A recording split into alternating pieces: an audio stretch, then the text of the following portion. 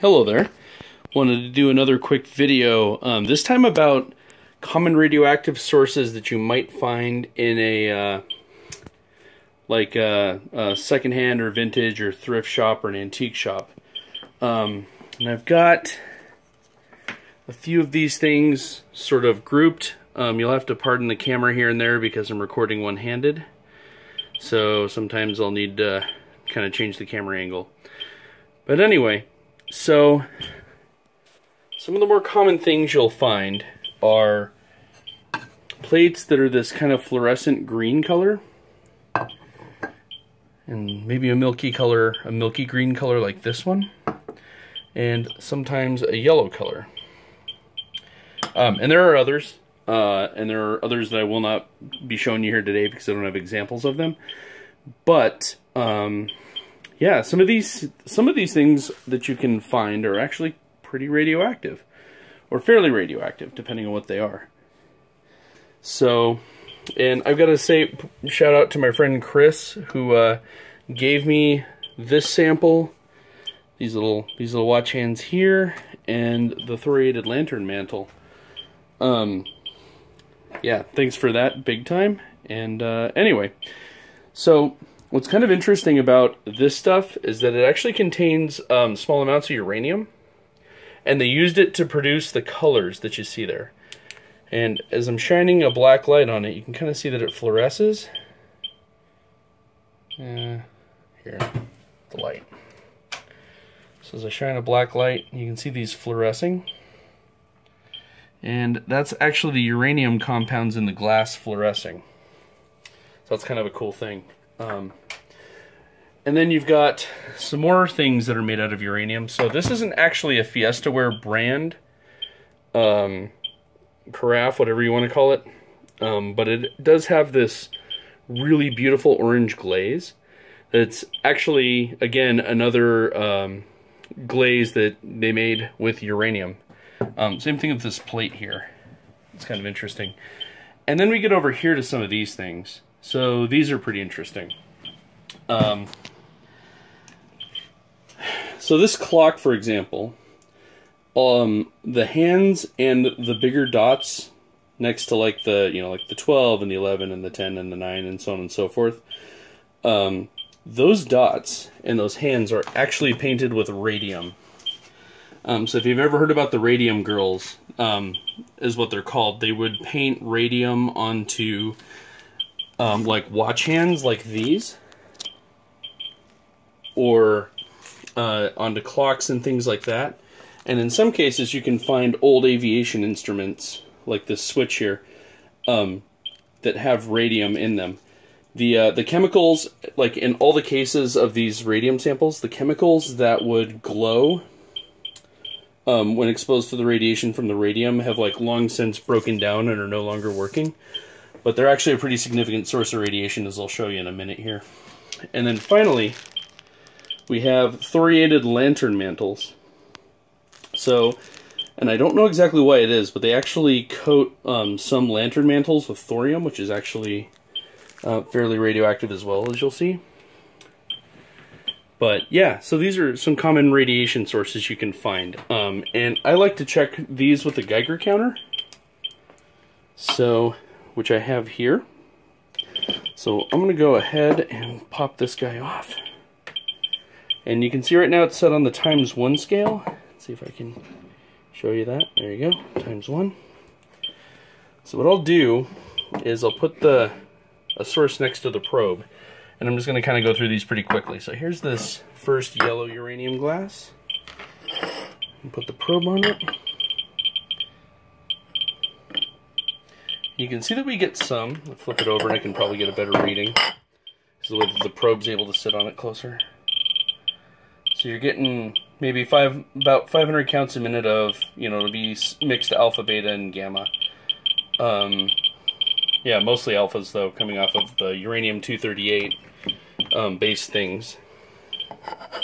So here's a plate, and I'm going to do these in order of how uh, how many counts they'll produce.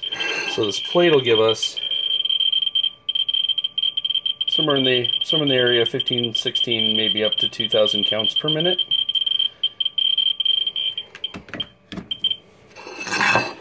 And then this guy, and if you've watched other videos of mine, you'll see you've seen me use this, but.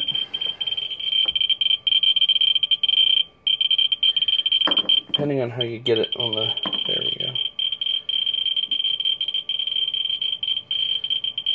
So I've been able to get around 2,500 counts per minute off of this. So, and these are all uranium glassware. Um, these, this guy's not so hot, but I'm to show it to you anyway. This kind of off-white color. About a thousand counts a minute there, not too much. Then, the quote-unquote Fiesta ware. This stuff will get kind of interesting. So, I'm going to have to change the scale on the meter, but I'll watch you will let you see it top out anyway. So, over 5,000 counts a minute. So I'm going to switch the knob to times 10. So it's about 20,000 counts a minute, mostly alpha particles. And I will only use two of these radium sources. So first the clock. This thing's going to give a ton of counts. So I'm going to leave it on the times 10 scale. So, and this is a beta and gamma emitter. So this is actually pretty, this is actually fairly hot. So it's 25,000 counts a minute. Or, sorry, 2,500 counts a minute, not 25,000.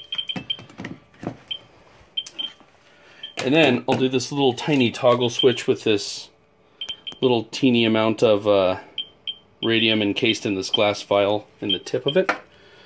This is kind of a hard sample to set down now.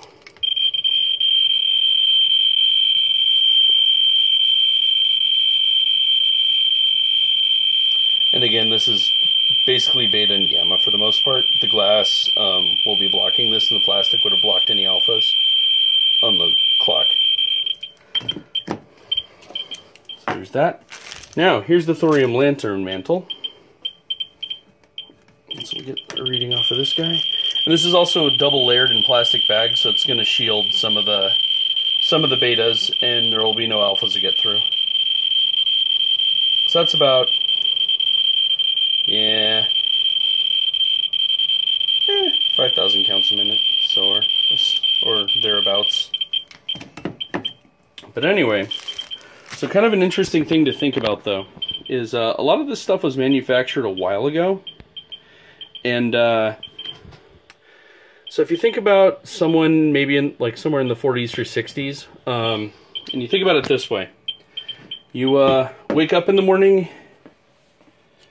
you're a pilot, you wake up in the morning, you look at this clock, and see what time it is. This thing's been sitting next to your head, uh, we'll say for eight hours during the night. Then you put on a watch to go to work with radium watch hands in it, and you're being exposed to that on your wrist. And then you have a nice breakfast. Pour some nice acidic, you know, orange juice in the carafe, um, which will actually pull some of the uranium out of the glaze because it's acidic. And then you eat your eggs off of your plate. You know, or maybe you could have used these, any of these things, um, which would not have been as bad because I don't think there's as much uranium in them. And then you go to work and fly aircraft, which are full of instruments that are painted with radium. It's like a toggle switch. The gauges and dials from the aircraft, maybe the compass in your survival kit or pocket, whatever. So you can actually see how um, surrounding yourself with a lot of radioactive items, as they used, especially used to back in the day, um, might add up to accumulated doses. So it's kind of an interesting thing.